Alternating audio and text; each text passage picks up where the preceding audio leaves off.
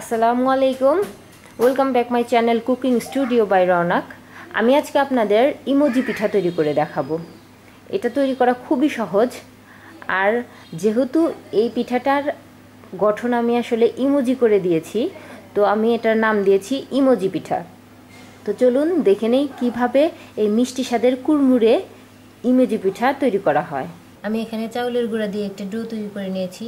চাউলের গুঁড়া দিয়ে যে সব পিঠা তৈরি করা হয়, সেই সব পিঠা তৈরি করার সময় আসলে এই ডোটারই বেশি প্রয়োজন হয়। তাই আমি এই ডো তৈরির রেসিপিটা আমার চ্যানেলে অলরেডি আপলোড করে রেখেছি। আপনারা সেখান থেকেও দেখে এই ডোটা তৈরি করতে পারেন। আমি এই ডো তৈরির রেসিপির লিঙ্কটা এই ভিডিওর ডিসক্রিপশন বক্সে দিয়ে দেবো। আপনারা সেখান থেকেও চাইলে দেখে নিতে পারেন। ইমোজি তৈরি করার জন্য আমি ডোটাকে চারটি কালার করেছি yellow red blue and black আমি হলুদ ডোটাকে দিয়ে একটা রুটির মতো বেলে নিয়েছি।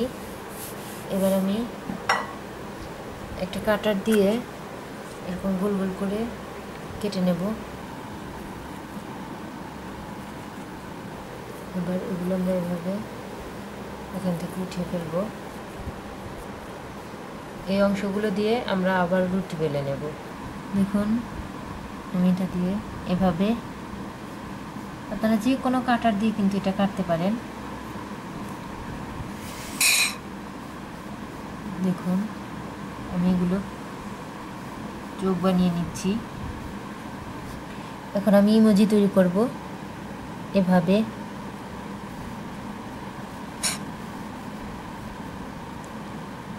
আসলে এই কাজটা আপনারা ইচ্ছা মতো করবেন। যে কোনো কাটার বা যে কোনো কিছু দিয়ে এবার আমি এগুলো এর মধ্যে দিয়ে দেব। এবার আমি এখানে ডিমের সাদা অংশগুলো এভাবে লাগিয়ে দিচ্ছি। তাহলে খুব আঠালো হয়ে যাবে। এবার মুখ বানিয়ে নেব।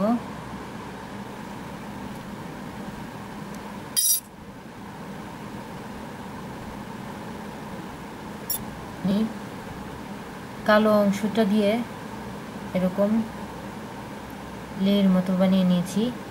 এবার আমি এটাকে এভাবে এর মধ্যে দিয়ে দেব। আর আমি এখানে একটু ডিমের সাদা অংশ ইউজ করব। দেখুন কি সুন্দর হয়ে গেল। এখন আমি আরেকটা ইমোজি তৈরি করব।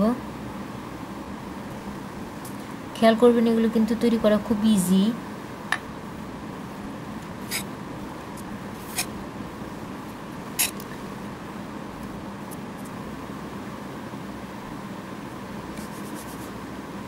এরকম। কালোটা দিয়ে আমরা এখানে ভরাট করে দেব।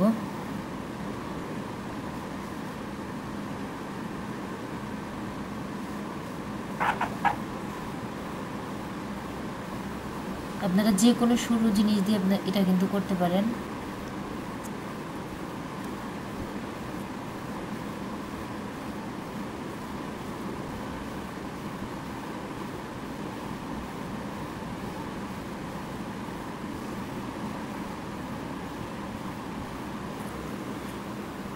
এবার আমরা রাগের ইমোজিটা তৈরি করব।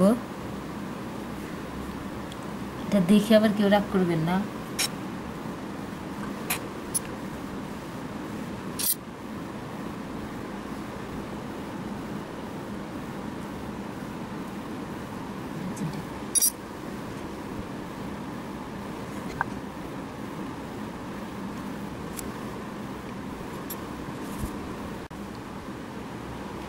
দেখুন, ইমোজিগুলো তৈরি হয়ে গেছে।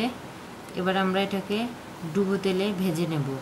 আর আপনারা চাইলে কিন্তু যে কোনো ইমোজি তৈরি করতে পারেন খুব সহজে। আমি একটা কড়াইয়ে তেল গরম করে নিয়েছি। এবার আমি ইমোজিগুলোকে এভাবে ছেড়ে দেব। আপনারা খুব সাবধানে ভাজবেন এটা।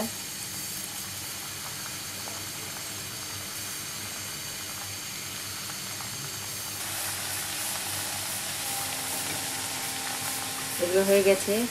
এবার আমরা এগুলো উঠিয়ে ফেলব। তৈরি হয়ে গেছে মজাদার ক্রিস্পি ইমোজি পিঠা। এটা কিন্তু আপনারা যে কোনোভাবে তৈরি করতে পারেন যে কোনো ইমোজি এভাবে তৈরি করা যায়। আর আপনারা এভাবেও খেতে পারেন। আবার যেহেতু এটা চাউলের তৈরি, তো আপনারা এটাকে শিরায় ভিজিয়েও খেতে পারেন। এতক্ষণ আমাদের সাথে থাকার জন্য সবাইকে ধন্যবাদ। আর আমার এই রেসিপিটা যদি আপনাদের ভালো লেগে থাকে প্লিজ আমার চ্যানেলটাকে সাবস্ক্রাইব করার অনুরোধ রইল। আজকের মতো এ পর্যন্তই। আমি আবার নতুন কোনো রেসিপি নিয়ে আপনাদের সামনে হাজির হব। ততক্ষণ সবাই সুস্থ থাকুন, ভালো থাকুন। আর আমার জন্য দোয়া করবেন। আল্লাহ হাফেজ।